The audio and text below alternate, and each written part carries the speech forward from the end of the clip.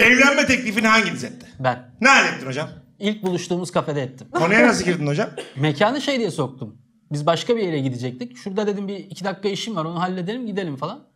Gelmişken hadi bir şeyler içelim falan oldu. Ben önceden pasta masta hazırlamıştım. Pasta zaten mumlarla falan gelince mevzu ortaya çıktı. Çay kahve içildi. Kola Ya- içildi. Kola. Evet. Yanına pasta. Yanına pasta geldi. İçine sindi mi senin kuzun?